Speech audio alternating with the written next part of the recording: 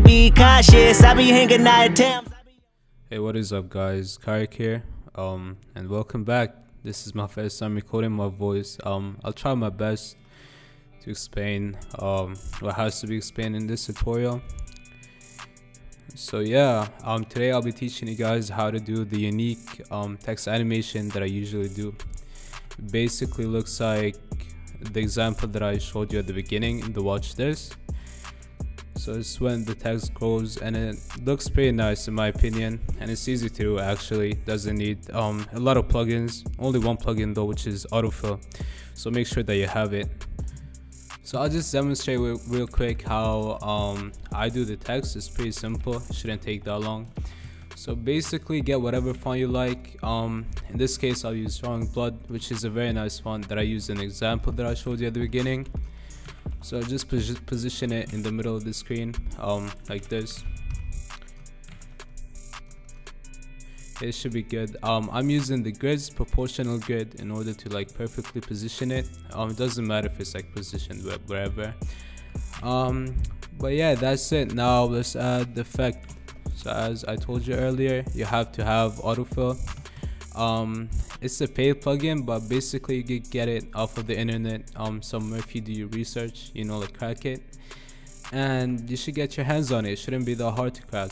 It's um, found everywhere actually. So basically autofill um, grabs points and it makes them go and expand through um, whatever you're using it on. You can use it on text um, images a bunch of other shit.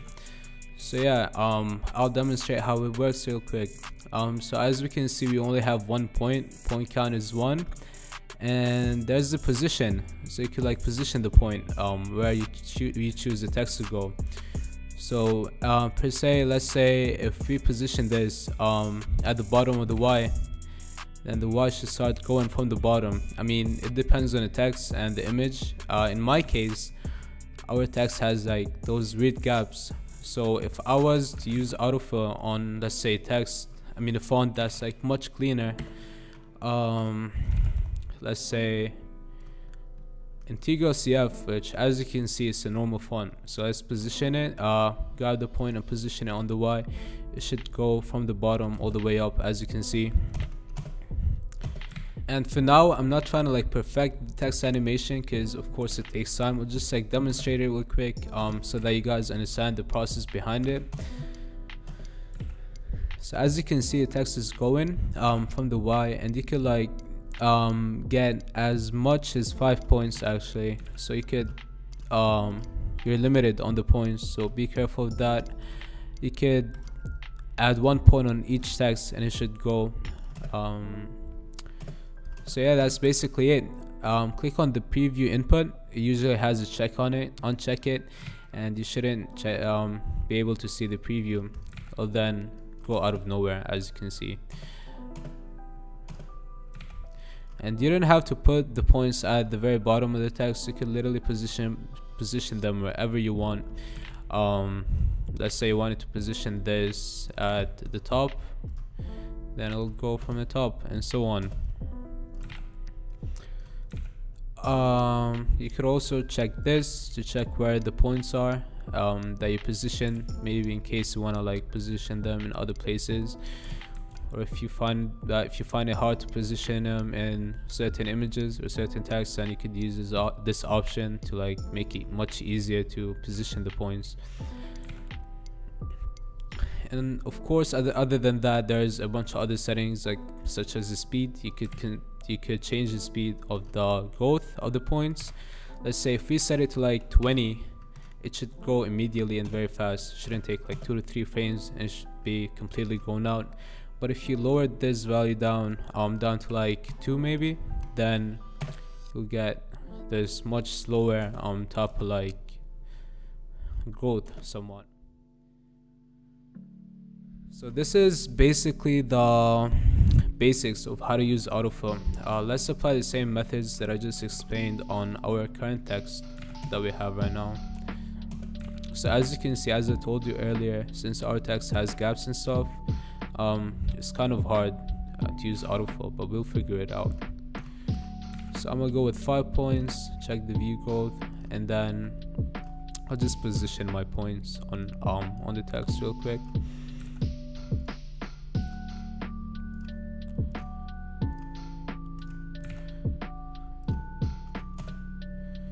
So as you can see it's going but in this case since we got gaps and shit the text isn't going as um, it has to go. So in this case you could mess with the border strength. So the border strength um, somewhat limits the points from crossing a certain border. Let's say we got those gaps um, if the border strength is set to 100 then the actual fill wouldn't cross the border but let's say if it's on zero then it would just go out of nowhere. It wouldn't mind the borders it just fill up. So in my case um, I think that turning the value up to 100% um, should look more aesthetic in some cases. A look that is actually going from each um, part of the text which makes it look much better than if the value was set to zero. And then I'm gonna bump the speed up to 10 make it a bit faster. And then I'll go to the compositing part. We could border expand um, it's basically similar to border strength.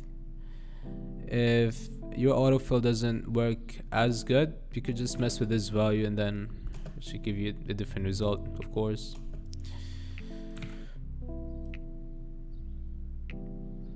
And then we also got the radius. So you could mess with the radius. It's the um, radius of the point that the fill is going from. So of course smaller um, radius the smaller the point is gonna be larger the larger um, generally speaking if you have a larger radius um, your text will go much faster because the ball is larger pretty self-explanatory so let's check how it looks now Um, let me show you some techniques and some effects that I usually add onto my text to make it look spicier and much um, better and cooler looking. So I usually um, duplicate the text. Now we got both um, text duplicated. Same text of course.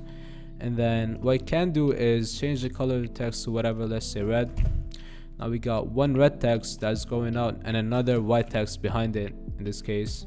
So what you can do is um, actually mess with the delay frames.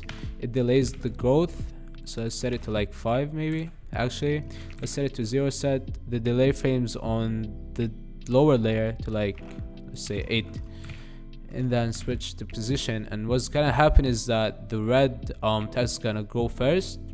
And then after that the um, other white text is gonna also grow out um, in the same position and like follow up with the red text so this adds like a nice texture somewhat to the text.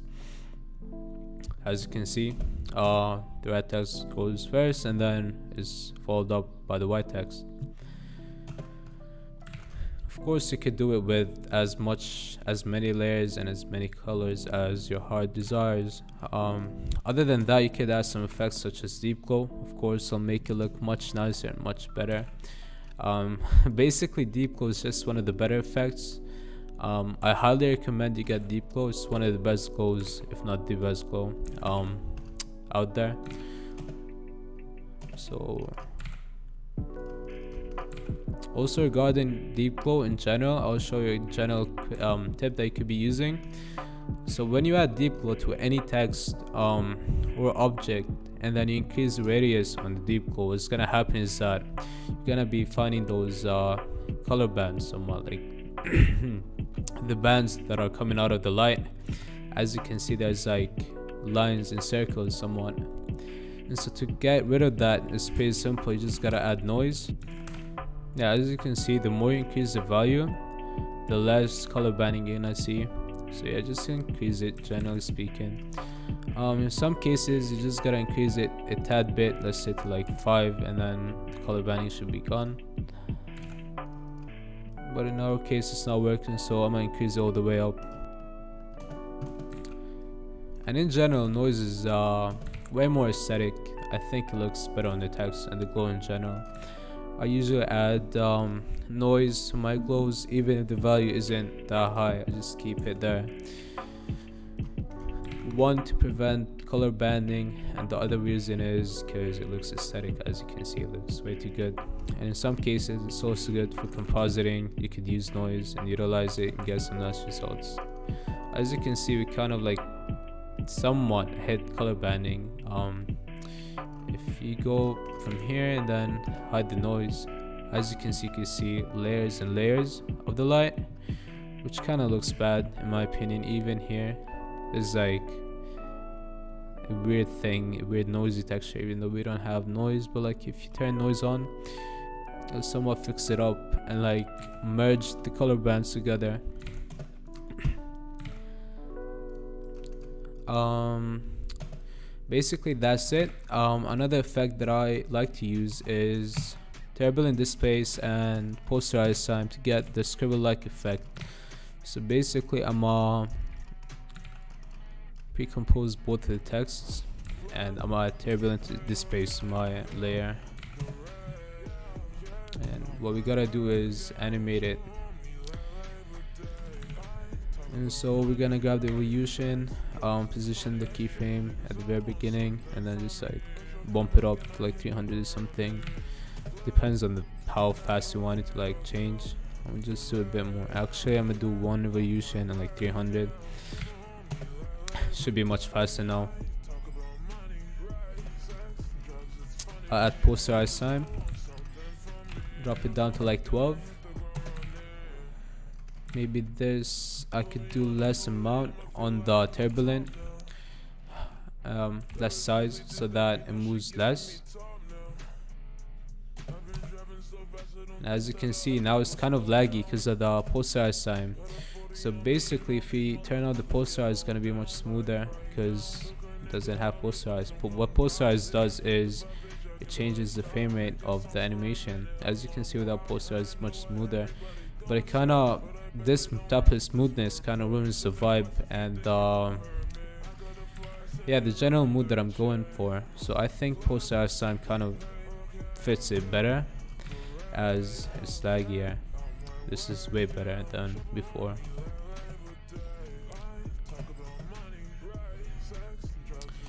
Um another effect that I like using sometimes is uni heat wave for this type of text animation you can pretty much do whatever whatever you want uh, but like it depends on your edit. The thing is that it's not positioned above posterized so it's not being affected by posterized time so if you change the positioning of the heat wave you'll get a laggier look now that is being affected by posterized time again this is a nice effect that I like um, using. It kind of makes the text jiggle. And of course there are a bunch of effects and wave types in heatwave that you could be um, messing with and get getting like different results so basically uh, there isn't specific values just mess with it and you'll get whatever you get. And as you can see could add some blur. Um, might look nicer this way. And so last effect that I'm gonna be showing you guys that fits this type of text animation that I used in the watch this at the very beginning of the video is the time warp RGB effect so this effect does is that it kind of echoes and like duplicates the text over and over again as it's going up so I'll grab time warp RGB oh. Just wait till it loads, kind of killing my PC. Just cache before playback and play it. As you can see, gives it a nice RGB look. Kind of duplicates the text multiple times. It gives it that nice look, um, which I think looks pretty cool.